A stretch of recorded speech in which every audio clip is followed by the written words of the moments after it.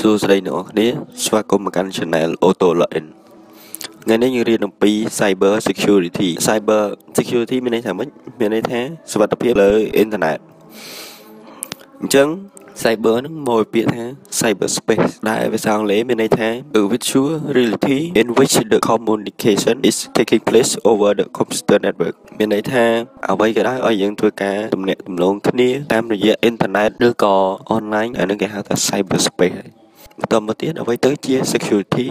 security ភាសាអង់គ្លេសមានន័យថា a state of being free from danger or threat មានន័យថាឲ្យតែយើងចាក់ឆ្ងាយពីគ្រោះថ្នាក់ឬការគំរាមកំហែងនានាអានឹងគេហៅថាសុវត្ថិភាពអញ្ចឹងចាប់ពីមេរៀននេះយើងរៀនអំពីសុវត្ថិភាពនៅលើអ៊ីនធឺណិតយើងតែងតែឃើញគេនិយាយថា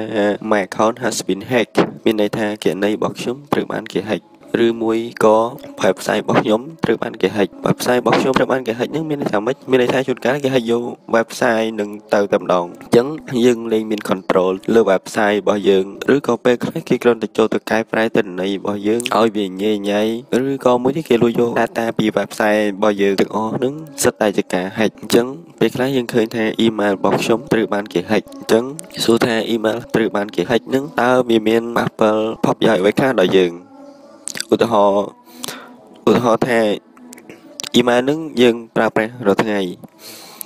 យើងប្រើប្រាស់សម្រាប់អ្នកដំណងជាមួយនឹងពាណិជ្ជកម្មរបស់យើងឬក៏តាក់ទងភ្ញៀវទីជួនហើយមួយថ្ងៃមួយថ្ងៃយើងរស់ដោយសារតែ email ហ្នឹងអញ្ចឹងបើ email មួយនឹងត្រូវបានគេហៅមានន័យថាការងាររបស់យើងនឹងក៏ត្រូវបរាជ័យដែរមូលហេតុហ្នឹងឯងដែលយើងត្រូវការការពារក៏ប៉ុន្តែភាសា email ហ្នឹងគ្រាន់តែជា email យើងបង្កើតលេងចោលទុកចោលហ្នឹង អត់មានប៉ះពាល់អីទេទោះជាគេលួចទៅក៏វាមានបញ្ហាដល់យើងដែរអញ្ចឹងអានឹងភាពខុសគ្នារវាង email ដែលយើងប្រើប្រាស់ប្រចាំថ្ងៃឬមួយក៏ email ដែលយើងប្រើលេងលេងពេលខ្លះគេនិយាយថា my phone has been hacked អញ្ចឹងទូរស័ព្ទរបស់ខ្ញុំត្រូវបានគេ hack ចូលទៅឬមួយក៏កុំព្យូទ័ររបស់ខ្ញុំត្រូវបានគេ hack my profile របស់ខ្ញុំត្រូវបានគេ hack webcam របស់ខ្ញុំត្រូវបានគេ hack webcam មានន័យថាកាមេរ៉ាអញ្ចឹង laptop ទូរស័ព្ទដៃរបស់យើងគឺមានកាមេរ៉ានៅនឹងបើសិនជាកាមេរ៉ានៅក្នុង laptop របស់យើងត្រូវបានគេ hack មានន័យថា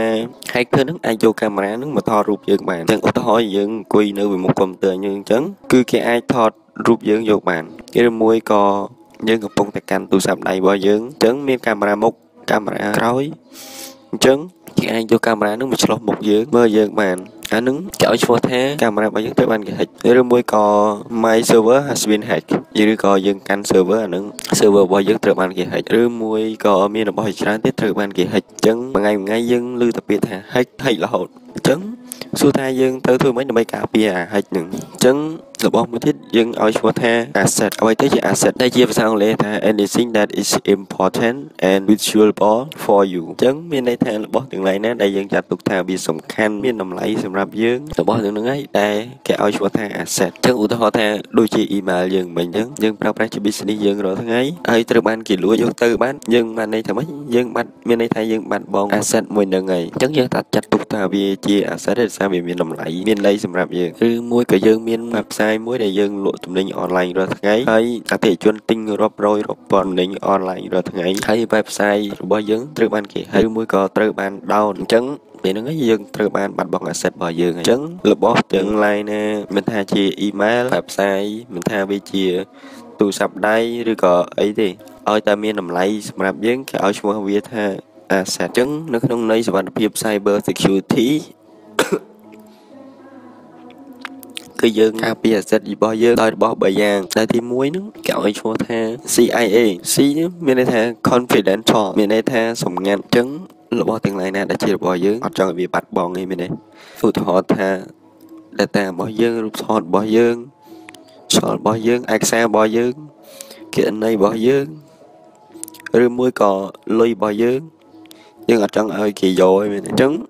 អានឹងចោលឈ្មោះថា confidential